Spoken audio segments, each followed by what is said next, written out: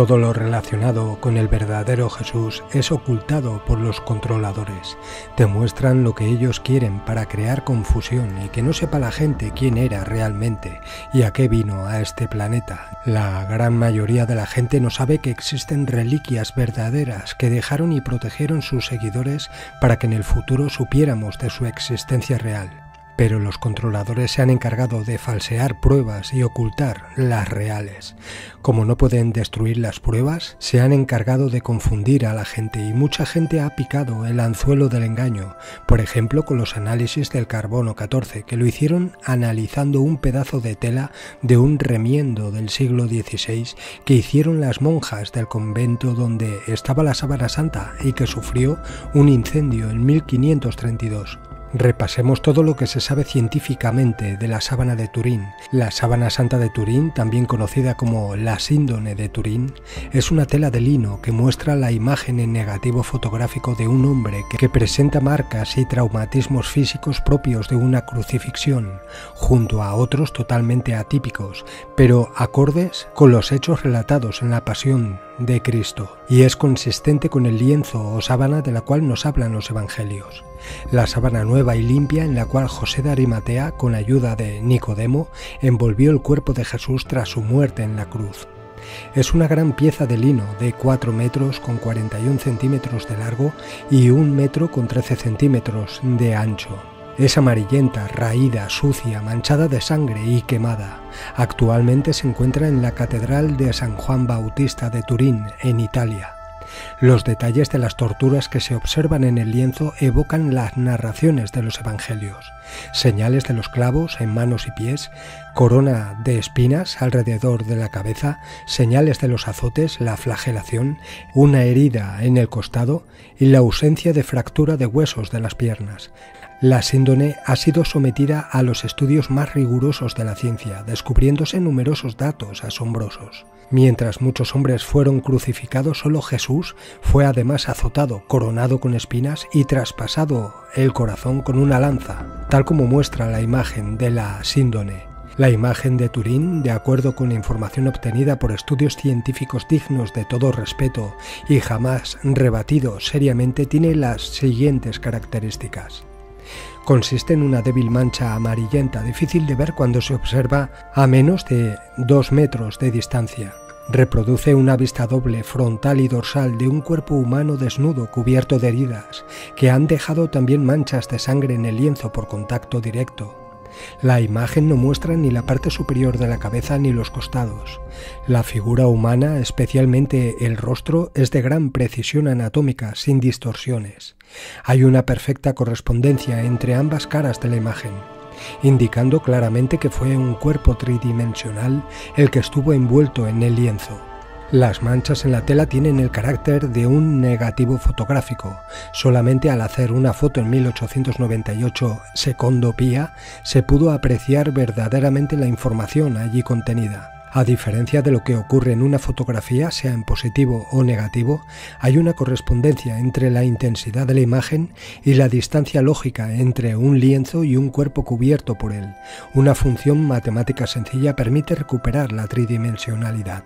Detalles del orden de milímetros puede observarse con técnicas de realce y de contraste.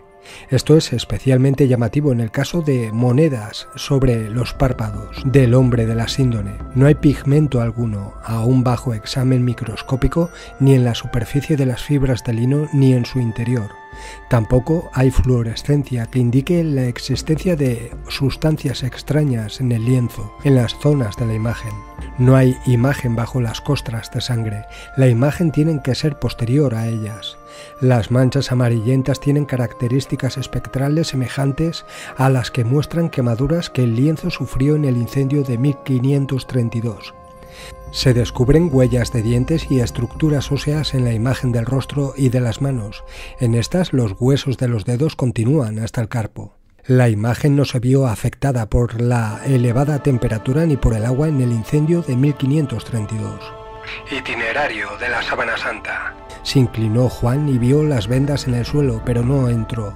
Llega también Simón Pedro siguiéndole, entra en el sepulcro y ve las vendas en el suelo y el sudario que cubrió su cabeza, no junto a las vendas, sino plegado en un lugar aparte. Hay entonces dos sudarios, el grande que cubría el cuerpo, la síndone, y otro que se puso sobre este y en el área de la cabeza. Este segundo se encuentra, según la tradición, en la Catedral de Oviedo. Lo más probable es que los apóstoles tomaron esta reliquia con inmenso amor para mostrársela a los demás como la primera prueba de la resurrección. Desde entonces es lógico que se guardase como la mayor reliquia de la cristiandad. Sobre cómo siguió su itinerario hay dos teorías. Una que fueron los templarios, organización muy prominente en Europa en esa época y que tenían gran interés en las reliquias. Los templarios guardaban secretamente las reliquias solo para los iniciados entre ellos y por eso no sería raro que la sábana santa desapareciera. La segunda teoría propone que la sábana santa pasó por Grecia, donde habían comunidades latinas relacionadas con Cherny.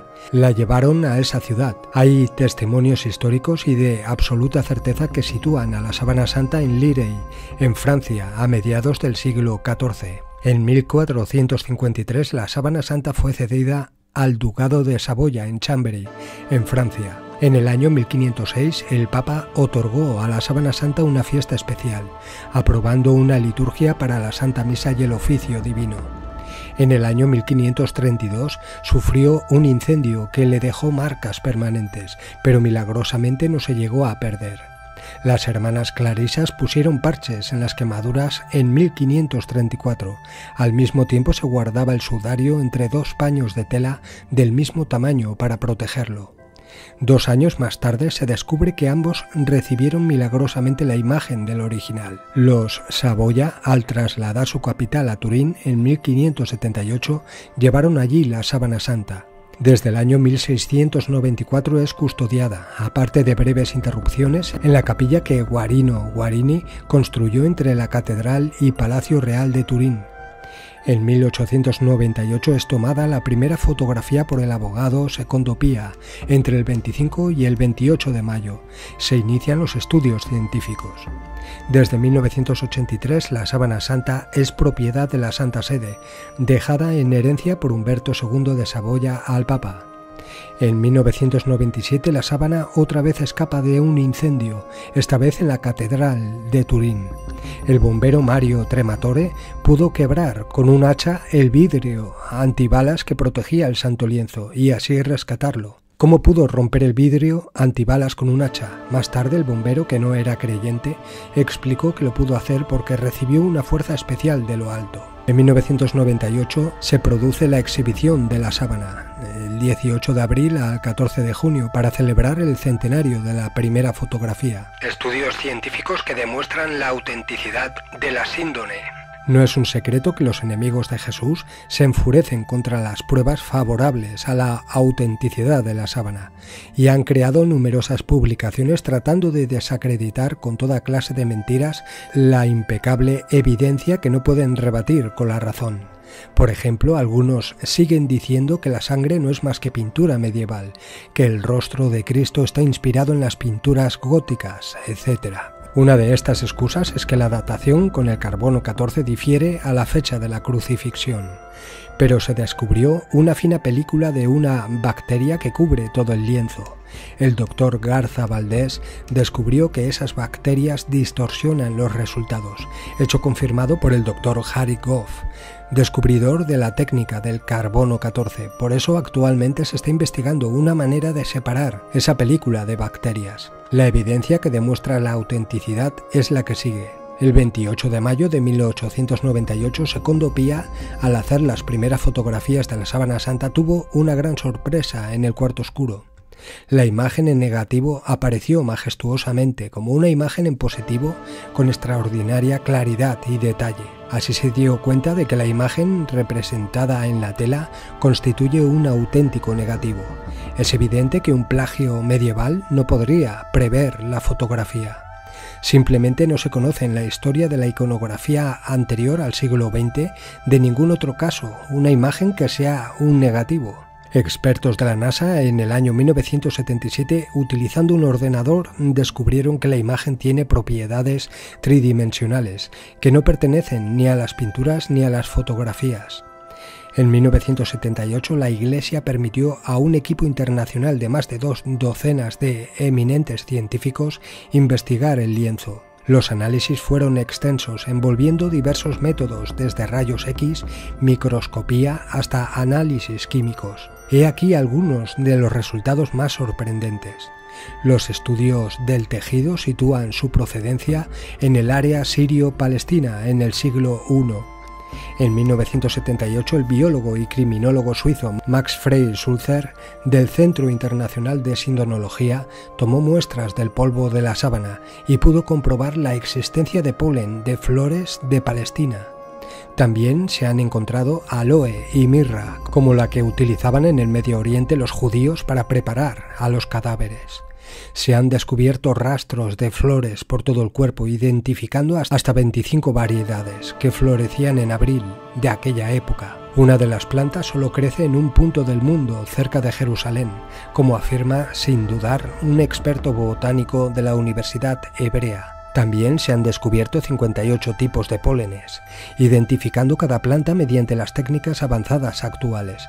28 de esos tipos de polen solo existen en Oriente Medio, indicando que la sábana pasó una buena parte del tiempo allí. La Fagonia mollis se observa cerca de la cabeza del hombre del lienzo. Esa planta es conocida sobre todo por la gran cantidad de espinas que posee. Todos estos datos y más indican que la sábana procede del siglo I en Palestina. Un falsificador medieval hubiera tenido que adelantarse a la invención del microscopio para añadir elementos invisibles al ojo humano, polen, tierra, suero, aromas para la sepultura, etc. Sobre los ojos hay huellas de monedas acuñadas en el año 29 de Cristo, bajo Poncio Pilato. Esto corresponde a la costumbre de la época de Jesús de poner las monedas para mantener los párpados cerrados. Fueron descubiertas en 1954 y en 1978 reconocidas en mayor detalle.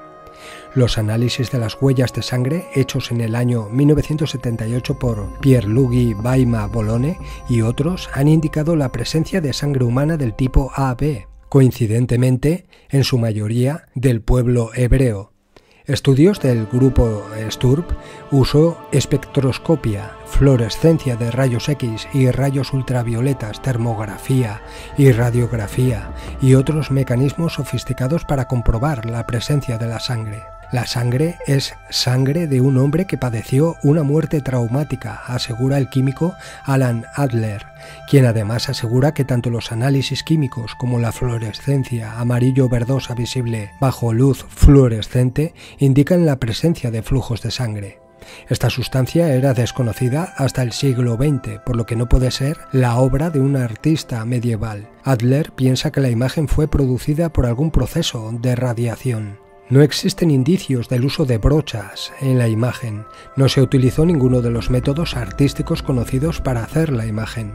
La imagen tiene solo una fibra de profundidad. El mismo grupo de científicos de Sturp comprobaron la absoluta ausencia de pigmentos, tintas u otros medios de pintura en la sábana santa. No hay imagen del cuerpo bajo las manchas de sangre, por lo tanto la imagen se formó después de las manchas de sangre. La imagen del cuerpo del hombre de la sábana no está hecha manualmente, no es una pintura ni una quemadura. Las quemaduras existentes no son parte de la imagen, sino que fueron causadas por un incendio en 1532. El origen de la misma es un enigma científico que todavía no se ha resuelto. No se conocen los mecanismos físico-químicos que han producido esta oxidación y deshidratación de las fibras más superficiales del tejido. La imagen es el resultado de deshidratación y oxidación de la celulosa contenida en las fibras en la superficie de la tela. Desde el campo de la medicina, la imagen que aparece en negativo permite un minucioso estudio anatómico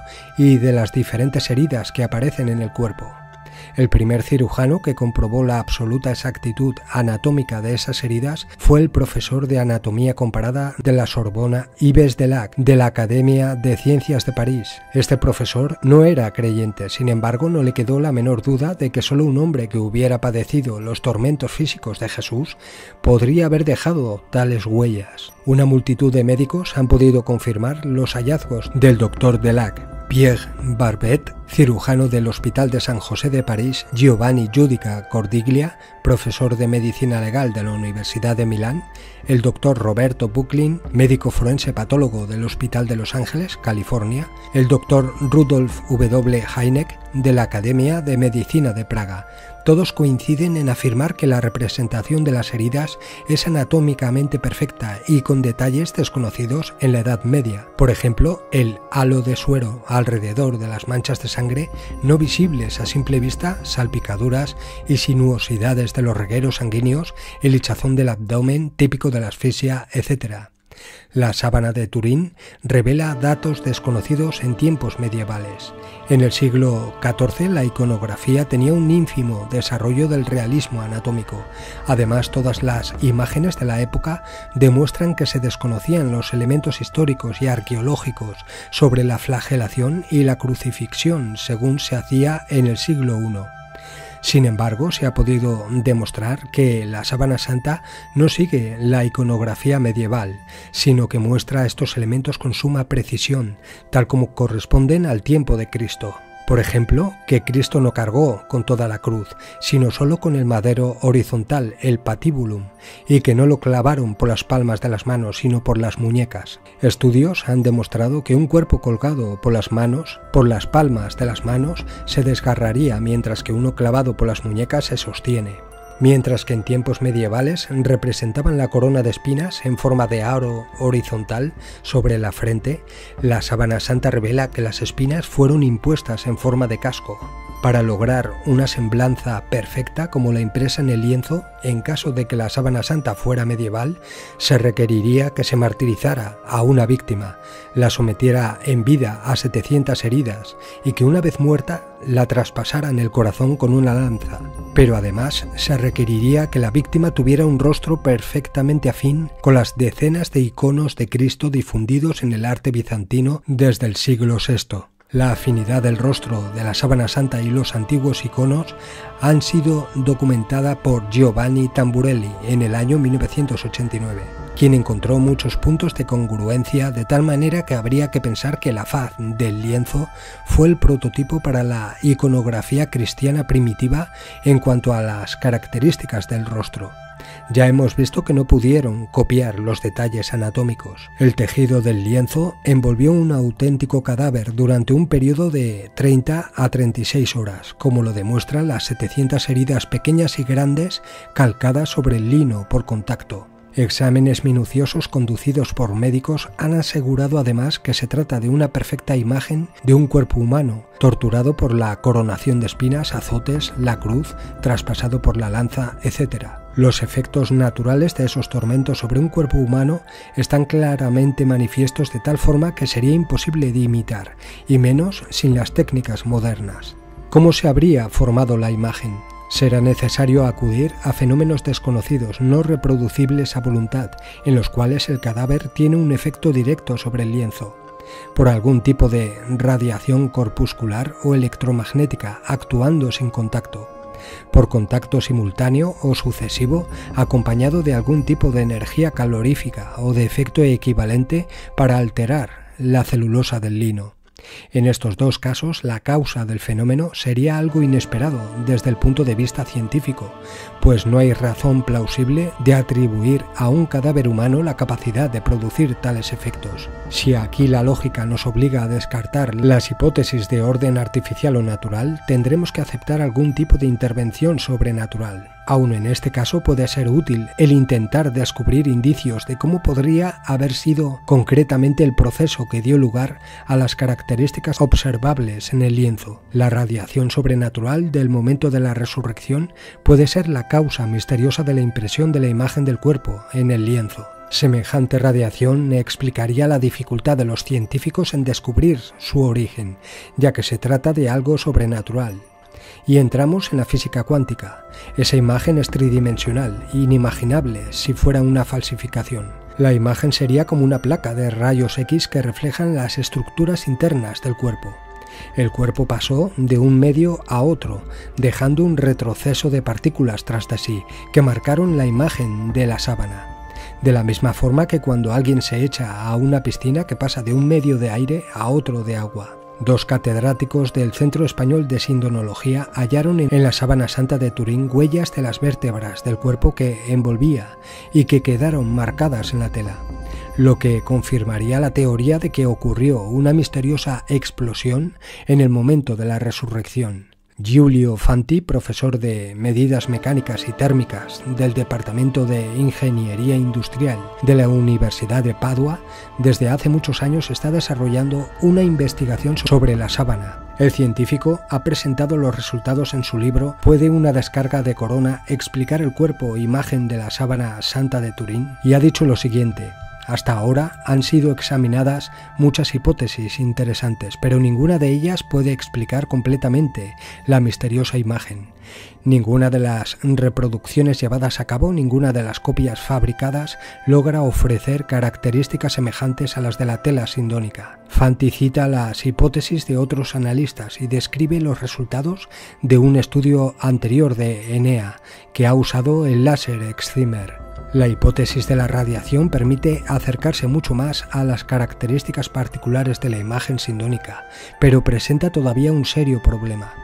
Se pueden reproducir tan solo pequeñas porciones de imagen de alrededor de un centímetro cuadrado del tejido, porque de otra forma se necesitarían energías que no se encuentran disponibles en los laboratorios. Los experimentos que Fanti llevó a cabo en Padua, en colaboración con el profesor Giancarlo Pesavento, exigieron tensiones eléctricas de alrededor de 500.000 voltios para obtener imágenes semejantes y de pocos centímetros de extensión. Y entre las hipótesis de radiación, solo la que se basa en el efecto corona, descarga eléctrica particular, satisface todas las características peculiares de la imagen corpórea de la sábana. Aunque para haber obtenido una figura tan grande como la que se encuentra en la tela, concluye el autor lo siguiente, habrían sido necesarias tensiones de hasta decenas de millones de voltios. El estudio que cita Fanti de la ENEA, la Agencia Nacional para las Nuevas Tecnologías, la Energía y el Desarrollo Económico Sostenible de Italia,